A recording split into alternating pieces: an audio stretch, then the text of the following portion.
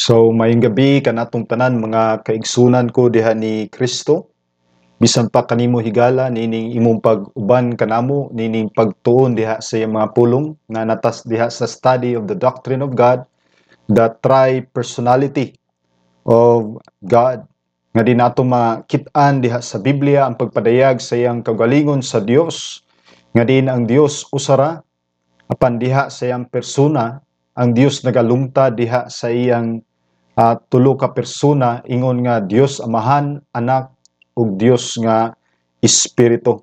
And the Bible is very clear that there is only one God and yet nag-exist diha sa tulo ka persona. Mo na nga importante kayo nga masabta nato ni nga pagtuon sa iyang mga pulong as what God declared or revealed himself to us in the scriptures. Ug sa atong pagtuon diha sa systematic theology, ato nang gidil ang the doctrine of God and in our study of the doctrine of God, we have been considering the nature of God, unsa ang Dios diha sa iyang pagkasama or what God is like. And now we will we will turn to another important aspect mao the nature of God and we will focus nini nga study nini nga kagabi una mao the tri personality of God or simply the Trinity. So in dealing with this subject, we will do so under three headings. Mao ni atong karon sa pagtuon sa pulong sa Ginoo. Number one is the biblical concept of the tri-personality of God. And number two is the biblical proof of the tri-personality of God. And number three is the practical relevance of the tri-personality of God. And why it is so important for us Christians to study these truths. Tungod kay adunay mga tao nga ang ilang pagtuo gyud sa Dios, ang Dios usara, ang Dios nga amahan, anak ug ang espiritu nagpadayag sa iyang kagalingon diha sa uh, tulo ka pagpadayag apan alang kanila ang Dios naglungtad ra gyud diha sa pagkausa ang Dios amahan siya pod ang Dios anak. Ang Dios anak siya pod ang Dios nga espiritu. Mo na tan-awon gyud nato sa Biblia unsa magigisulti sa Dios diha sa iyang kaugalingon sa iyang pagka siya So first nga atong i-deal is the biblical concept of the tri-personality of God. Nga atong makita nga ang word nga Trinity is not found in the Bible kundili it is a word coined by theologians in the early church as a convenient verbal handle in order to express a truth that is clearly taught in the Bible about God's being. And what is this truth taught in the Bible? Unsa nga kamaturan nga gitudlo diha sa Biblia? Number one, that there is only one true and living God. Nala may usa ka tinuod ug buhi nga Dios, one supreme being. And yet this one and only God has a plurality of persons. Unsa man ni? God the Father, God the Son, and God the Holy Spirit. The Father, the Son, and the Holy Spirit. The Father is God, the supreme being. The Son is God, the supreme being. The Holy Spirit is God, the supreme being. However, the Father is not the Son, and the Son is not the Father. The Father is not the Holy Spirit, nor is the Holy Spirit is the Father, and the Son is not the Father. The Father is not the Holy Spirit, nor is the Holy Spirit is the Father. And the Son is not the Holy Spirit, nor is the Holy Spirit is the Son. But they are distinct persons. And yet there are not three gods or three supreme beings, there is only one. For the one is three, and the three are one.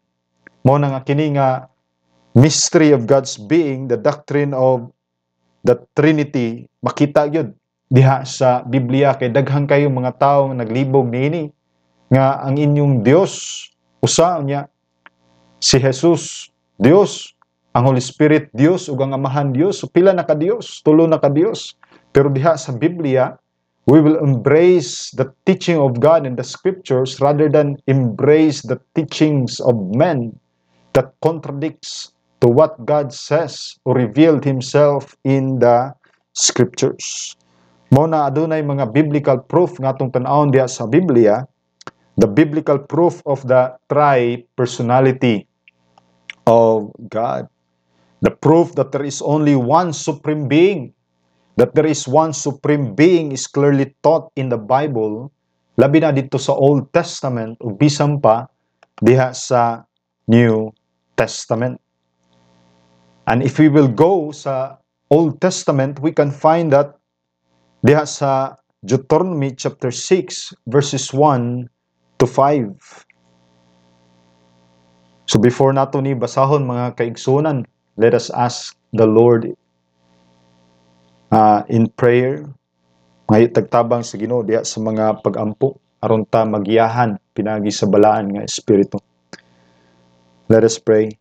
Our heavenly Father our gracious God Ginoong Dios ikaw mong gipasalamatan nini nga mga orasa nga imong gihatag kanamo It is a great privilege to study your word and even to study Ginoo sa imong pagkaikaw hilabi na diha sa imong uh, pers- persons, God the Father, God the Son, and God the Holy Spirit.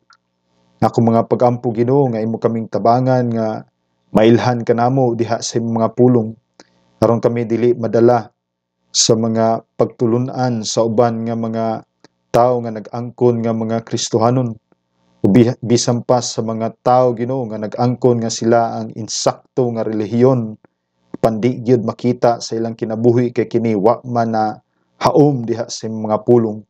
Bisan pang ilang pamatasan Ginoo nagkontradict yun diha sa ilang gi profess ingon nga mga tao nga mga niluwas sa ilang Dios busa tabangin mo kami nga sa among pagtuni ni mailhan kanamo ang among kinabuhi makumpurma gyud diha kang Kristo bisan pa diha sa Dios nga balaan nga ma mao'y nagtawag kanamo nining kalibutana nga puno sa kangitngit puno sa mga uh, sayop nga mga pagtulunan bisan pa puno diha sa sala.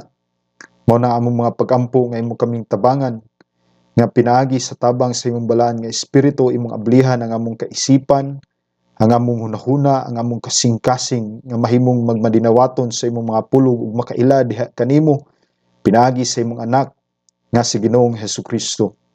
Mo na nga ubanin mo kami karon ug tabangin mo kami nga sa among pag tuon ni Ginoo makita namo ang imong himaya ug kami Ginoo makaila diha kanimo. Bisan pa sa mga katawhan ako mga pagampo nga the more kami makaila diha kanimo Ginoo the more ang among kinabuhi mausab matransform ngadto sa imong pagkaikaw pagkaysama diha kanimo aron kami magalakaw diha sa imong pagkabalaan bisan pa diha sa imong mga pulong dalaygon kamahan We thank you for the help of your Holy Spirit. We pray, Lord, sa iyang pagiya kanamo. Kining tanan ang gikumitar diha kanimo. May you hear our prayers in Jesus name we pray. Amen. So ang ikaduha nga atong tan-awon mga kaigsunan is the biblical proof of the tri-personality of God. In the Old Testament, adunay proof that there is only one supreme being and that there is one supreme being is clearly taught in the Bible, especially in the Old Testament. Nya-unya atong tanawon ang New Testament. But now we will go to Deuteronomy chapter 6 verses 1 to 5. Deuteronomy chapter 6 verses 1 to 5. Nagingon ang pulong sa Ginoo sa verse 1, Now this is the commandment, the statutes and the judgment or the judgments which the Lord your God has commanded me to teach you, that you might do them in the land where you are going over to possess it, so that you and your son and your grandson might fear the Lord your God, to keep all his statutes and his commandments, which I command you, all the days of your life, and that your days may be prolonged. O Israel, you should listen and be careful to do it that it may be well with you, and that you may multiply greatly, just as the Lord, the God of your fathers, has promised you in a land flowing with milk and honey. Verse 4 Tanawa, ang gingon sa Bible. Hear, O Israel, the Lord is our God, the Lord is one. And you shall love the Lord your God with all your heart, and with all your soul, and with all your might.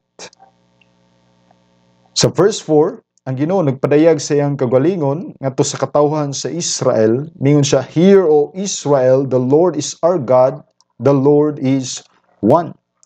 So kini siya nga declaration stood in sharp contrast with the polytheistic societies that Israel was surround. Ang mga katawhan sa Israel nga nagpalibot diha kanila, ang mga tao nga nagsimba og mga Dios-Dios, ang mga Hittites, ang mga uh, Jebusites, Palestine, tanan. Kani sila nagsimba og mga Dios-Dios.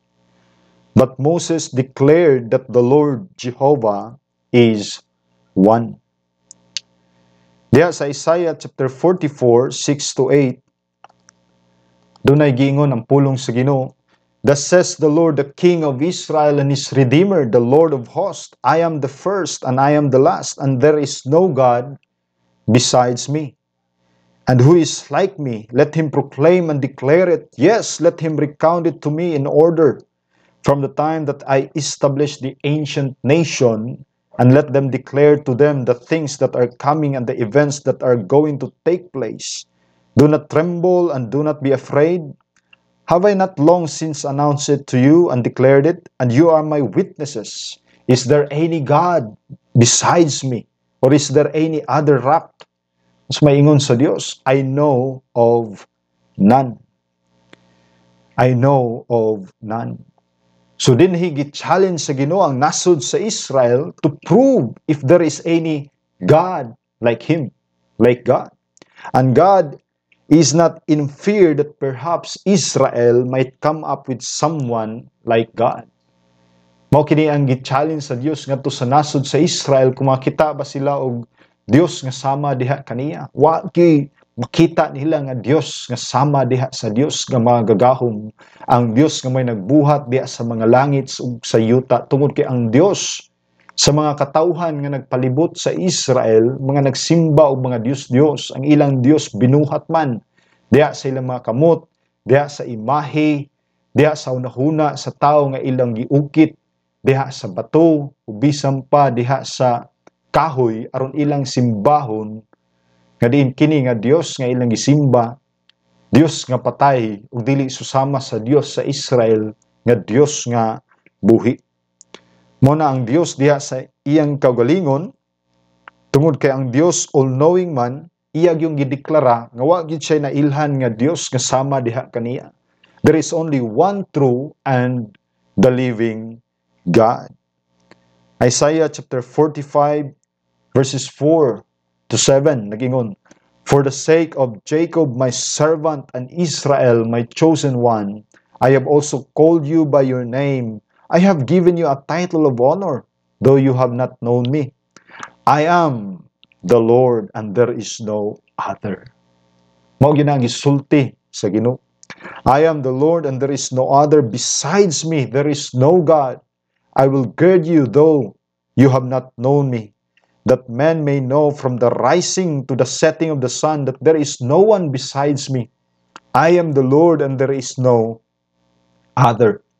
Verse 7, nagpadayon ang Ginoo sa pagsulti sa iyang kaugalingon, sa iyang pagpadayag ngadto sa katawhan sa Israel, mingon ang Dios, the one forming light and creating darkness, causing well-being and creating calamity.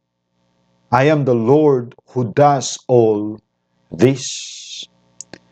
Kay daghay mga daghay mga tao nga nagunhuna that there are two gods or two supreme beings. A good God that creates light and sends posterity and a bad God that creates darkness and sends calamity. Mo na ilang gihunaw na nga adunay Dios diha sa kangitngit, adunay Dios diha sa kahayag, pero ang Dios nag-ingon gyud ang Dios dinhi that I am the Lord and there is no other, the one forming light and creating darkness, causing well-being and creating calamity. Mo na ang Dios, siya ra gyud ang Dios ug wa na gyud lain pa. He alone is the supreme being. There is none other. He creates both light, he creates darkness and sends both posterity and calamities.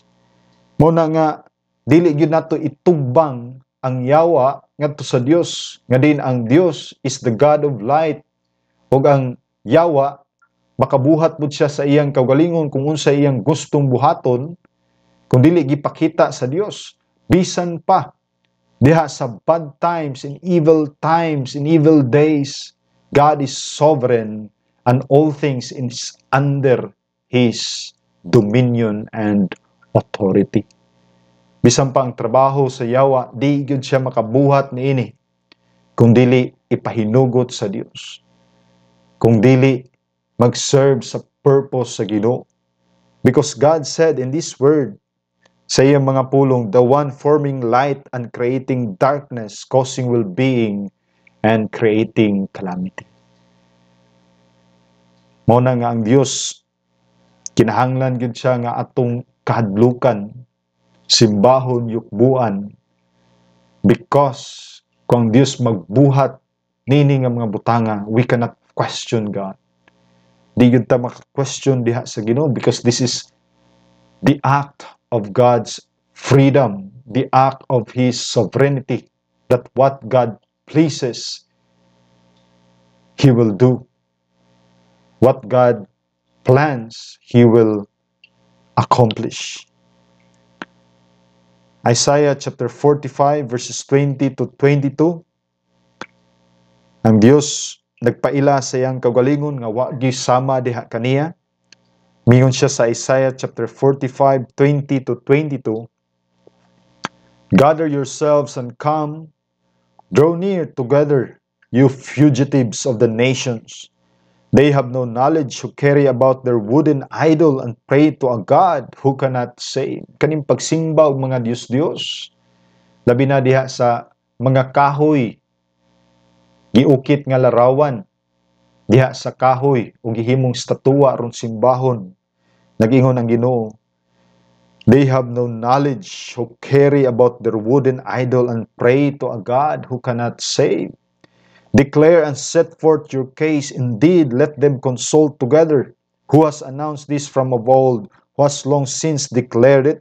Is it not I, the Lord? And there is no other God besides me, a righteous God and a Savior. There is none except me.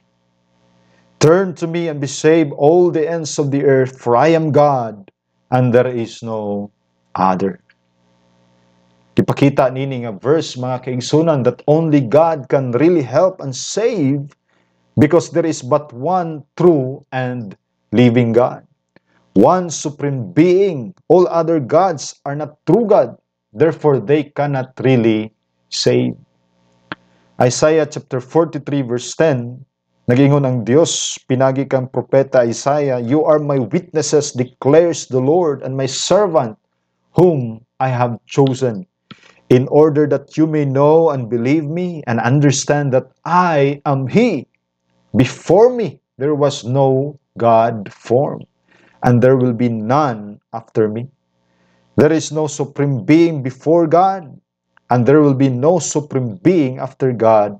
He alone is God. Kaniadto walay Dios nga naglungtad, ug wala po'y maglungtad human diha kaniya. Tungod kay ang Dios sa iyang kagalingon diha na siya kaniadto karon ug sa maabot ang Dios siya gyud nagalungtad sa walay katapusan.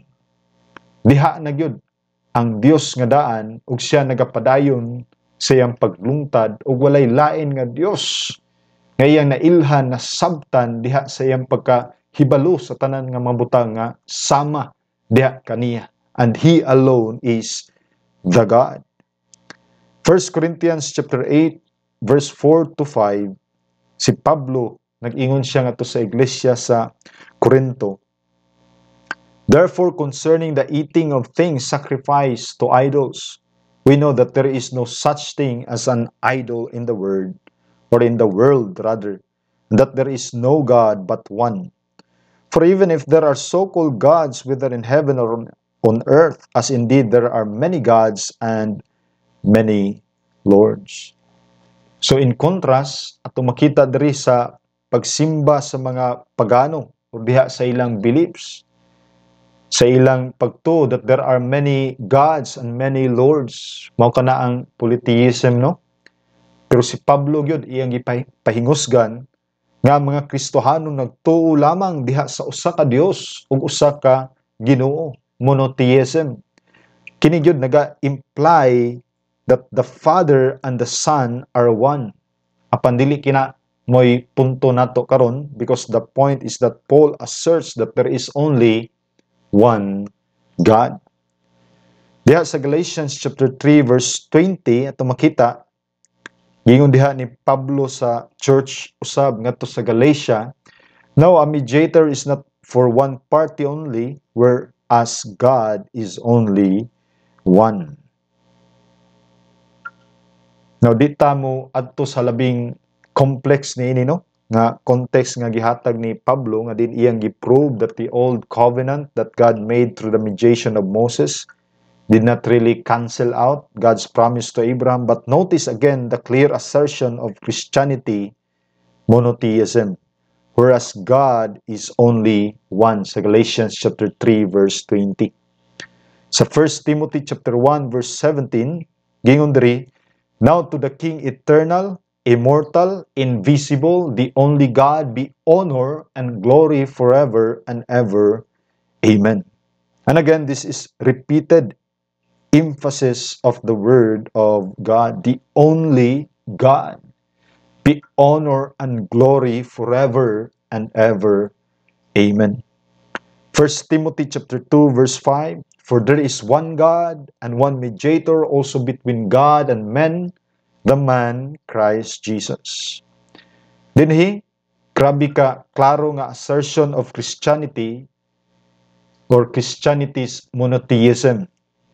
Just as there is only one mediator between God and man, so also there is but only one God. Mo na nga karon atong tan-awon that there are proofs in the scriptures that there is a plurality of persons in one supreme being. Nga diha sa pagka supreme being sa Dios, diha sa iyang pagkausa atong makita that there is a plurality of persons. However, the same Bible that teaches that there is only one supreme being is the same Bible that teaches that there is a plurality of persons that one supreme being. This is clear not just in the New Testament but even also in the Old Testament. Nga ang Dios nagpadayag diha sa iyang kaugalingon that there is only one God. Here, O Israel, the Lord is one niya ato makitaan nga kaning oneness sa Ginoo nag-reveal sa iyang kaugalingon nga diin siya is plural. Genesis chapter 1, 26 and verse 27. Gingon diri sa iyang pag-create sa tao, the first man and woman nga iyang gibuhat Genesis chapter 1, 26 and verse 27, gingon, Then God said, Let us make man in our image. Take note this word, let us. Then God said, Let us make man in our image according to our likeness, and let them rule over the fish of the sea, and over the birds of the sky, and over the cattle, and over all the earth and over every creeping thing that creeps on the earth. And God created man in his own image. In the image of God, he created him. Male and female, he created them. Now, note in the LXX or in the lexicon, ato makita that God is singular. And yet, when God speaks, He is more than just one person, us and our. Ang mga Jehovah's Witnesses, nag-ingon sila nga, dinhi daw nga verse ang Dios nagasulti ngadto sa mga anghel. Pero kanigyod, weak nga assertion, this is untenable. Kay gibuhat ba diay kita diha sa imahe sa mga anghel? And our angels also are creators? Dili kana mo'y gisulti o gitudlo diha sa Biblia for angels are not gods. They are not creator. And we are not created in the image of an angel. Mo na nga diri ato makitaan in the Old Testament the one and only true God has revealed himself to have a plurality of persons and there is a plurality of persons in one God. Genesis chapter 3 22 to 24. Sa diha nga si Adan ug si Iba sila nagrebelde sa pulong sa Dios, nagdisobey sa uh, bunga sa kahoy nga dili ipakaon sa Ginoo dito sa tanaman sa Erd, sa e-, Eden, in the garden of Eden, the tree of the knowledge of good and evil. Mao na nga sila gipahawa sa Dios didto aron nga sila dili mabuhi nga makasasala magpadayon sa kinabuhi nga walay katapusan kung mukaon sila sa the tree of life nga ang ilang kinabuhi na diha sa sala. For the wages of sin is death. Ug ang Dios nag-ingon ngadto nila kang Adan ug Eva for the day that you will eat from it you will surely die. Mo nang gibuhat sa Ginoo there is a Genesis chapter 33 verse 22 to 24 Mingon ang Dios sa verse 22, Then the Lord God said, Behold, the man has become like one of us. Kitsa may yang refer Nini, is he referring to angels? Or is he referring to himself nga ang Dios dili lang kay usa but is a plural diha sa iyang persons.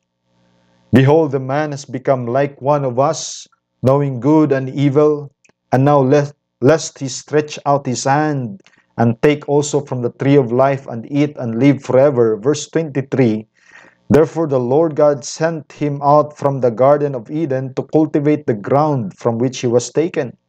So he drove the man out, and at the east of the Garden of Eden he stationed the cherubim and the flaming sword which turned every direction to guard the way to the tree of life. Now take note that the Lord God is again singular sa verse 23 and yet when he speaks he is more than just one person sa verse 22 then the Lord God said behold the man has become like one of us.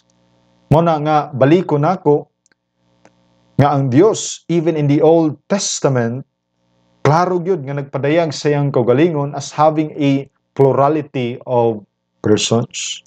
And this is represented in man as God's image sa verse 26 of Genesis chapter 1. Then God said, Let us make man in our image according to our likeness. Moingon ka nga ang Dios usa at tumakita, yes, God is one and yet ang Dios naglungtad diha in a plural persons. Then God said, Let us make man in our image according to our likeness. And let them rule over the fish of the sea and over the birds of the sky and over the cattle and over all the earth and over every creeping thing that creeps on the earth. Ito makita, no? That there is plurality in unity. Sama diha sa tao, man is one and yet they are two. Sa Genesis chapter 2, 21 to 24, ang gihimo nga uh, wedding nga din ang Ginoo nag-institute niani sa man ug sa woman dito sa Garden of Eden nga sa diha nga sila na minyo na sila ni Adan ug ni Eva sila gihimong usa diha tubangan sa Dios. Morning gingon sa Genesis chapter 2, 21 to 24. So the Lord God caused a deep sleep to fall upon the man, and he slept. Then he took one of his ribs and closed up the flesh at that place. And the Lord God fashioned into a woman the rib which he had taken from the man, and brought her to the man. And the man said, This is now my, this is now my bone, or this is now bone of my bones. and flesh of my flesh. She shall be called woman, because she was taken out of man. For this cause a man shall leave his father and his mother, and shall cleave to his wife, and they shall become one flesh. Mo ang gingon sa Biblia, and the word one is the same nga pulong nga gigamit sa Dios sa iyang pagpadayag sa iyang kagalingon ngadto sa katawhan sa Israel. Hear, O Israel, the Lord our God is one. Exodus chapter 3, 2 to 6. Exodus chapter 3, verses 2 to 6. Mao kini ang uh, encounter ni Moses ngadto sa Dios. Nga din ang Dios uh, nagpakita nagpadayag sa iyang kagalingon diha sa dagway sa usa ka anghel Itawag kini sa mga theologians, theophanes, ang pagpakita sa Ginoo diha sa lain nga dagway or diha sa lain nga purma. Exodus chapter 3 verses 2 to 6 ang gingon, and the and the angel of the Lord appeared to him ngadto kang Moses in a blazing fire from the midst of a bush. And he looked, and behold, the bush was burning with fire, yet the bush was not consumed. So Moses said, I must turn aside now and see this marvelous sight, why the bush is not burned up.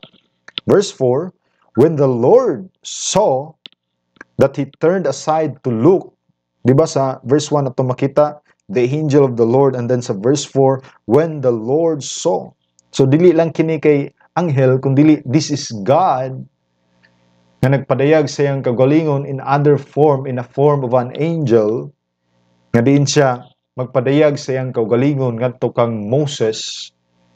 Ug kung unsay buhaton sa Dios ngadto sa mga katawhan sa Israelita sa pagpahigawas kanila gikan sa Ehipto ni Parao aron si Parao makaila diha sa Dios kung kinsa gyud ang Dios nga buhi ug gamhanan mo na nga sa verse 4 gingon when the Lord saw that he turned aside to look God called to him from the midst of the bush and said, Moses, Moses. And he said, Here I am. Then he said, Do not come near here. Remove your sandals from your feet, for the place on which you are standing is holy ground. He said also, I am the God of your father, the God of Abraham, the God of Isaac, and the God of Jacob. Then Moses hid his face, for he was afraid to look at God. Nang pangutana din he, who is that appeared to Moses in the burning bush. Kinsa maning uh, nagpakita ni Moses ngadto sa burning bush. The angel or messenger of the Lord, one whom you can distinguish from God, and yet this messenger of the Lord speaks as God himself and claims to be himself God. Moreover, this messenger of the Lord even demands worshipful reverence from Moses. And this is someone mere holy angels will never do. Muna nga kining pagpadayag sa Dios in other form, the theophanes of God, sa iyang pagpa uh, kita padayag sa iyang kagalingon in other form aron siya nga makigstorya diha sa tao. God demands worship from His creature. This is not uh, a mere angel, but this, this is God. Nga din nagpakita sa iyang kagalingon in a form of an angel. Kay kung angel lang, ato makita sa Revelation, nga bisan ang angel nga nagpadayag ngadto kang John, dili man gani siya magpasimba. Iya ganing gitudlo si John nga simbaha ang Dios. Ayaw kong simbaha because we are just a fellow uh, servant fellow servant of yours. Tanawa Revelation chapter 19 verse 10. And I fell at his feet to worship him. Yang context nini ang ang angel no. And he said to me, Do not do that. I am a fellow servant of yours and your brethren who hold the testimony of Jesus. Sa sa angel, worship God. For the testimony of Jesus is the spirit of prophecy. Mo na nga klaro gyud nga gi pasabot dinhi is that there is a plurality of persons in the one true and living God. Nya mas tin-aw pag yun ni or mas klaro pag yun kini sa diha nga nag-progress ang scripture from Genesis to Revelation sa pagpadayag sa Dios diha sa iyang kagalingon sa Matthew chapter 28, 18 to 19. Mao kini ang panahon nga si Kristo nabanhaw na ug sa diha nga gihatag niya ang Great Commission ngadto sa iyang mga disipulo. Matthew chapter 28, 18 to 19, gingon, And Jesus came up and spoke to them, saying, All authority has been given to me in heaven and on earth. Go therefore and make disciples of all the nations, baptizing them in the name of the Father and the Son and the Holy Spirit. Now, if you are a studious yun, yeah, pulong sa Ginoo, and if you critically uh, look at the Word of God, yeah, sa verse 19, Mingon si Christ, Go therefore and make disciples of all the nations, baptizing them in the name. Dili plural, but singular, in the name of the Father and the Son and the Holy Spirit. Note, name. Singular, not plural. And yet there are three persons who are mentioned. Kinsa man ni? The Father, the Son, and the Holy Spirit. There is one God, one supreme being, and yet there is a plurality of persons in this one true and living God. 2 Corinthians chapter 13 verse 14 Mingon ang scripture, the grace of the Lord Jesus Christ and the love of God and the fellowship of the Holy Spirit be with you all. Muna nga diha sa closing benediction ni Pablo, he invokes each persons of the Godhead, God the Father, God the Son, and God the Holy Spirit. So again, there is a plurality of persons in this one supreme being. Now that these three persons in the one supreme being are distinct sa ilang persons is absolutely clear in the scriptures. Distinct ang Father, ang Son, ug ang Holy Spirit, they are one God pero diha sa ilang persona magkalahi sila. The Father is not the Son or the nor the Son is not the Father. The Son is not the Holy Spirit nor the Holy Spirit is the Son nor the Father, kundili ang Dios usa diha sa iyang kagalingon, naglungta diha sa tulo ka persona and they are distinct in persons. Tanawa ang Luke chapter 12 verse 10. Luke chapter 12 verse 10. Gingon and everyone who will speak a word against the Son of Man, it shall be forgiven him. But he who blasphemes against the Holy Spirit, it shall not be forgiven him. Now, igsoon, dili gid mo ni masabtan ang pulong sa Ginoo if you will not embrace these whole teachings of the scriptures. Kay kung ang imo rang i-embrace one part of the scripture or the teachings of men, mo na nga kuyaw gyud kayo nga bisan ang balaan nga espiritu imong pasipalaan. Kamoingon ka nga aduna ra usa ka Dios o kana nga Dios mahora gyud si Jehovah or mahora gyud si Yahweh ug si Kristo tao lamang usa lamang ka propeta. Ug ang Holy Spirit usa lamang ka gahom ug dili persona igsoon. Klaro diha sa Biblia nagaingon but he who blasphemes against the Holy Spirit it shall not be forgiven him. Gipakita diha nga ang Son is not the same person as the Holy Spirit because they are distinct in person. In John chapter 5 verse 30, we can read, Ingon si Christ, I can do nothing on my own initiative as I hear, I judge, and my judgment is just because I do not seek my own will but the will of Him. So ang context ni ini nagarefer ngadto sa Dios nga amahan nga nagpadala diha kang Kristo, but the will of Him who sent me. Mo na nga gipakita diri is that the Father is not the Son, they are distinct in person. John chapter 14, 16 to 17, ang prayer ni Christ ngadto sa Amahan nga ipadala ang balaan nga Holy Spirit parang balaan nga Espiritu rather to be the vicar of Christ sa diha nga si Kristo mabanhaw na gikan sa kamatayon. Gingon diri John 14, 16 to 17, and I will ask, ang Greek diri nga gigamit, ang word nga ask is the word irutaw. It is a king asking to another king who is in equal authority.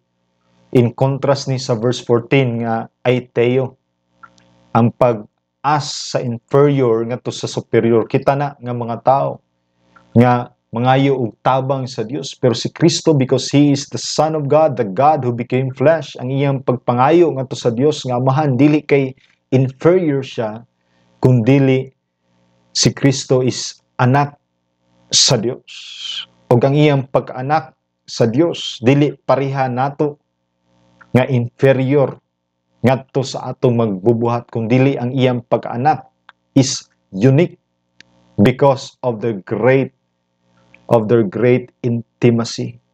It speaks of their relationship sa Dios diha sa ilang kaugalingon even in eternity past. And I will ask, lingon siya, And I will ask the Father, and He will give you another helper that He may be with you forever. That is the Spirit of truth, whom the world cannot receive, because it does not behold him or know him, but you know him because he abides with you and will be in you.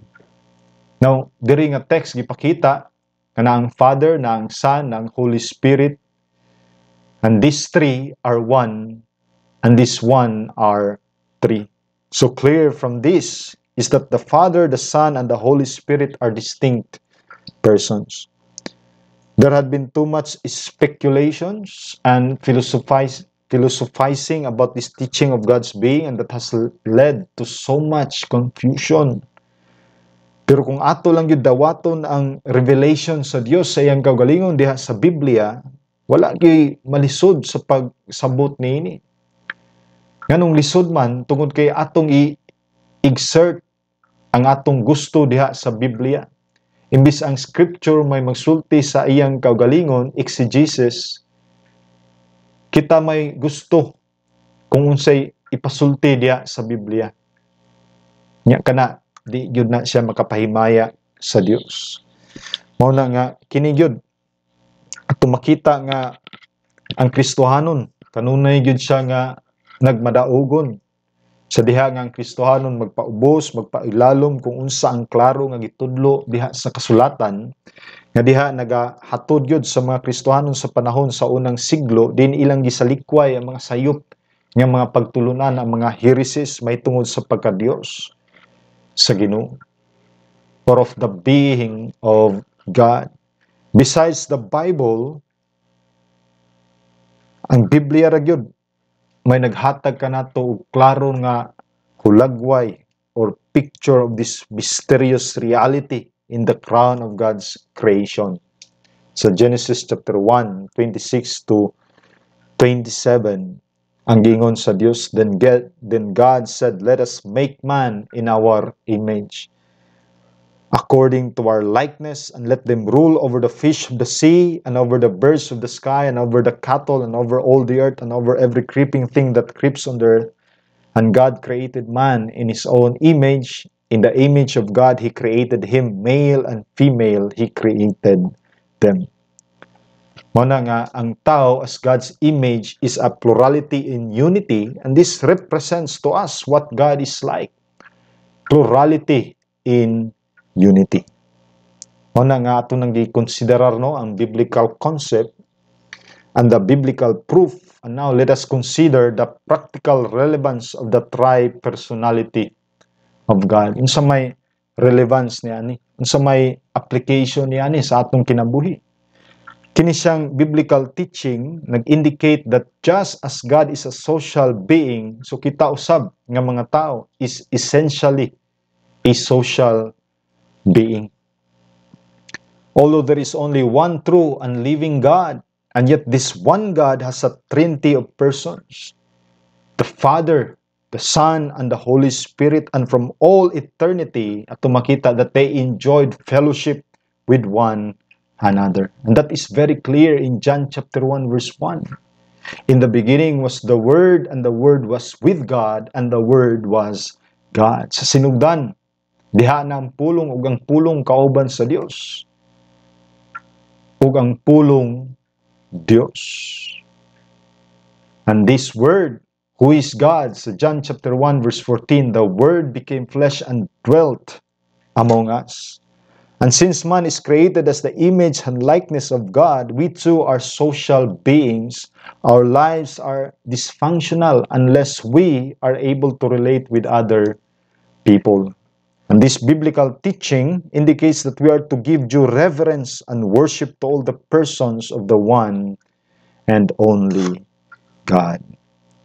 Nga, it is not only right no to worship the Father, but also the Son, the Lord Jesus. Moreover, it is not only right to worship the Father and the Son, but also the Holy Spirit, for the three are one, and the three and the one is three.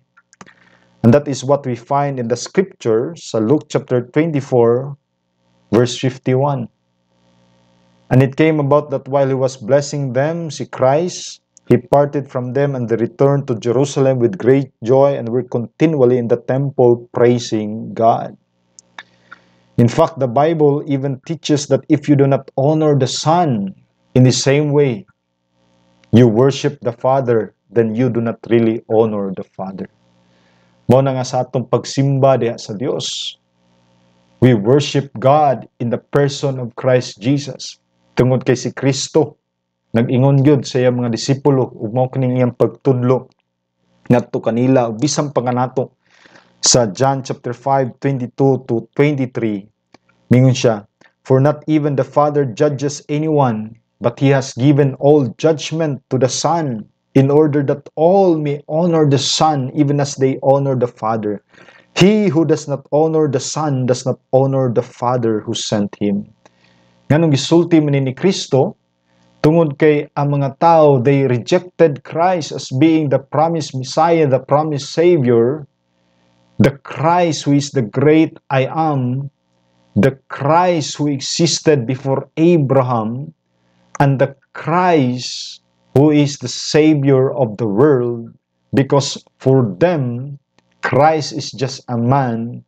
For them, Christ is just a prophet But Christ actually is the Son of God.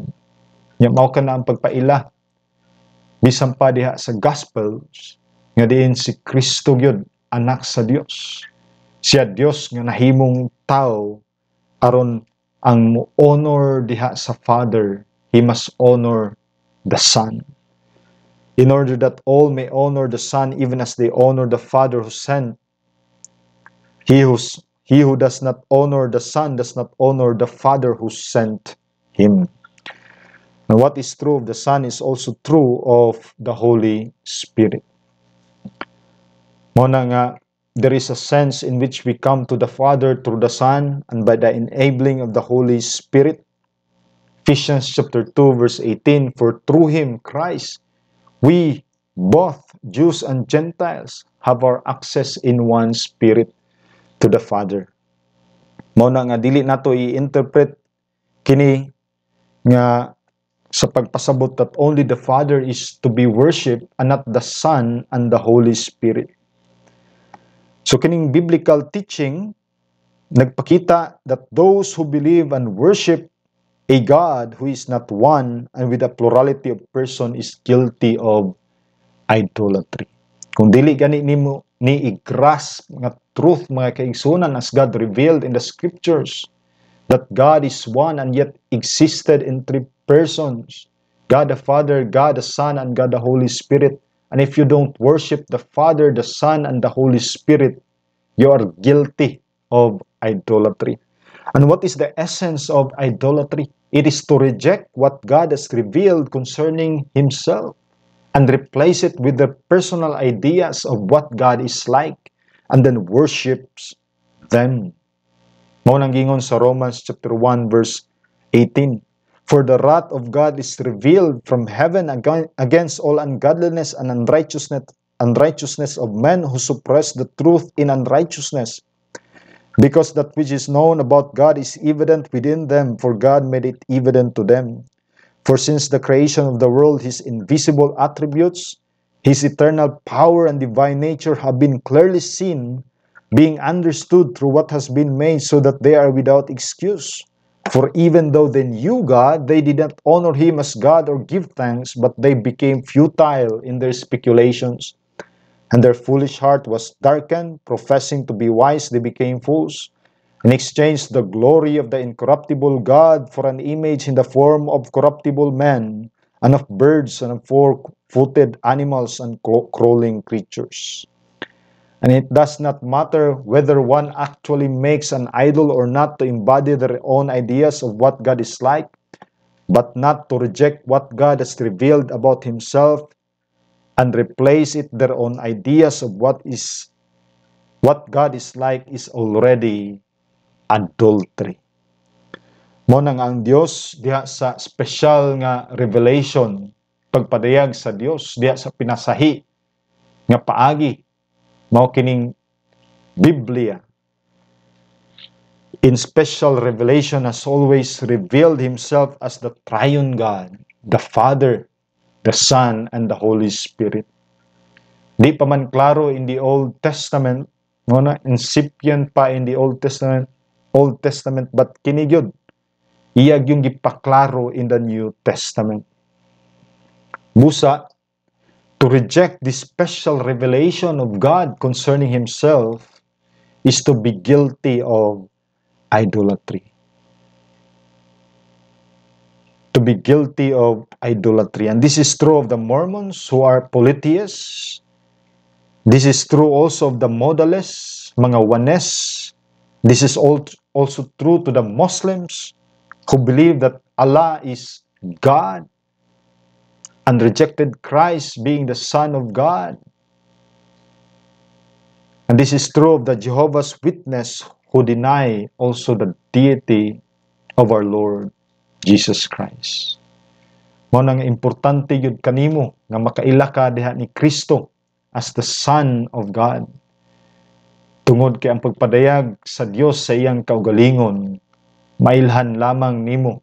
Diha ni Kristo pinagi sa iyang grasya ug sa iyang kaluoy pinagi sa tabang sa balan nga espiritu. Mo na nga igsoon, ako kang gihangyo giawhag nga tuhi si Kristo. Nga din siya Dios nga nahimong tao. Nga din siya namatay dito sa cross sa Kalbaryo aron sa pag-ula sa iyang dugo sa kapasayloan sa mga tao.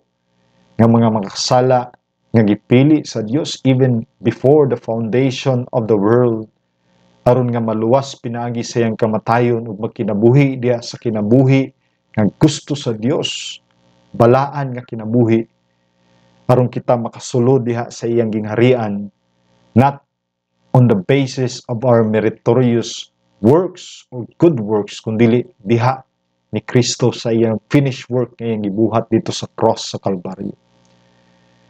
If God is one and then Christ is not God and the Holy Spirit is not God, then who is your Savior? Then who is your mediator? Then who is your high priest? Then who is your living hope? Mo na ang Dios sa pagpadayag niya sa iyang kagalingon, ang Dios dili siya nag-inusara nga siya lamang kung dili God is one and yet God existed in three persons. So, diha nga iyang gikasal si Adan ug si Eva dito sa Garden of Eden, the Lord said to the man and to the woman, the two shall become one flesh. And the word one there is the word ikad. One and yet plural. Two and yet one. The same is true diha sa Dios. Ang Dios naglungtad diha sa usa ka being apan diha sa iyang persona. Naglungtad ang Dios diha sa tulo, God the Father, God the Son, and God the Holy Spirit. Dili gyud nimo ni masabtan igsoon kung wa ang tabang sa balang espiritu ug kung dili nimo embrace ang kinatibuk-an nga pagtudlo diha sa Biblia Tungod kay ang Biblia nagaingon sa 2 Corinthians chapter 4 verse 4. The God of this world has blinded the minds of the unbelieving so that they may not see the glory of God in the image of Christ Jesus. Mao na nga mangayo gyud ta tabang igsoon nga diin kita makaila diha sa Dios nga may atong magbubuhat bisan pa diha sa atong manuluwas bisan pa diya sa balang espiritu nga mao ang puli ni Kristo nini nga kalibutan. Let us pray. Our Heavenly Father, we thank you nining pagtuon sa imong mga pulong. We pray Lord nga imo kaming tabangan nga motubo diha sa pagkaila diha kanimo bisan pa diha sa imong uh, persona diha sa imong pagkaikaw nga dili kami malipat sa mga pagtulunan sa mga tao nga wa nakailadi kanimo. Pagtulunan nga minugna sa unahuna ug sa kasing-kasing sa tao nga kurap ug malimbungon. Tabangin mo kami Ginoo that we will embrace to the teachings of the scriptures to the teachings of you God as you have revealed yourself in us in a special way diha sa kasulatan and Lord we pray that may you imprint your word into our hearts. Aron dili kami madala Ginoo sa strange doctrines nga din sila nagpaila sa ilang kagalingon nga mga insakto apan kini Ginoo nagasupak yun diha sa mga pulong bisan pang ilang kinabuhi. Wa gyud na kumpurma diha sa pagkabalaan tungod kay kini. Wa man gi bag-o ni Kristo. Wa man gi regenerate ang ilang kasing-kasing sa imong balaan nga espiritu busa kami nagapasalamat sa imong grasya nga imong kaming gitagaan ini nga kahibalo sa imong mga pulong aron kami magasimba diha kanimo sa amahan sa anak ug sa espiritu throughout eternity. And Lord, we thank you for all these things. May your name be continually be glorified. Nining pagtuon sa mga pulong. In Jesus' name we pray. Amen. Tagang salamat igsoon sa inyong pag-uban kanako. And I hope to see you next week sa padayon nato nga pagtuon sa pulong sa Ginoo. Ang Ginoo magapanalangin kanato and God bless us all. The Lord is not our equal. He doesn't need the help of men. Who could ever give him counsel? Who could ever stop his sovereign plan? The men may boast of wisdom and be filled with pride within. Who is bold enough to answer? when his maker comes to question him.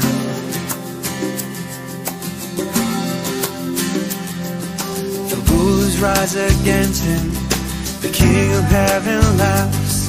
He rebukes them in his anger and terrifies them in his wrath. He punishes the wicked, pours judgment out on sin.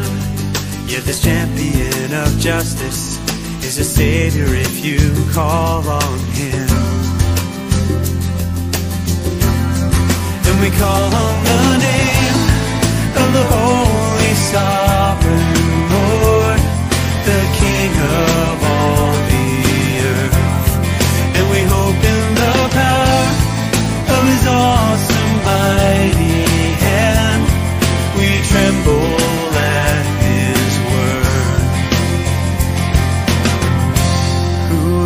like our